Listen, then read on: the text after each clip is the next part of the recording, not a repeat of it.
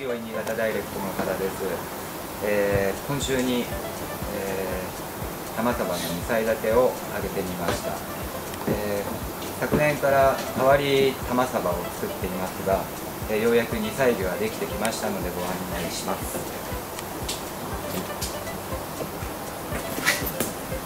えーいろんな柄がいますまあこういうふうに黒いものであったりまあ3色。まあ五色みたいなものであったり。まあ。まああとはお落ち葉しぐれみたいなものもいます。こんな感じで、まあさまざまな柄がいます。いっぱいいますねね。えーこちらにも、まあ、黒いものから、まあ、まだ墨が出てませんが3色。こんな感じで。うわ。います綺麗なだいたいサイズ、ね。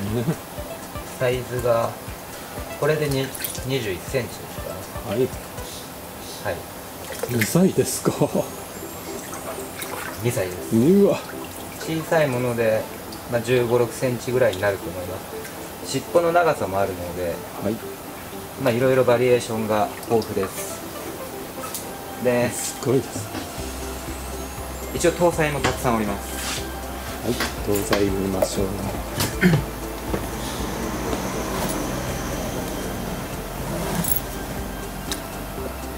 まあこういうふうにやっぱりバリエーションが豊富なのでいろいろとこう模様の変化であったり成長の変化が楽しめます。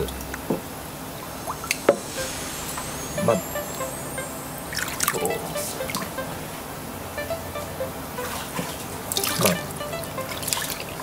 あはい春に離して秋に上がってくる大きさです。はい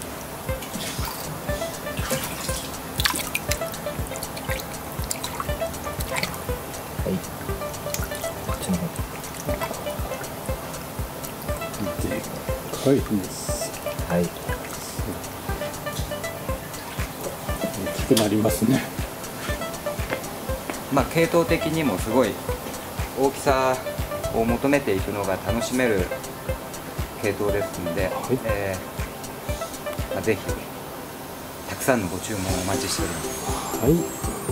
ありがとうございます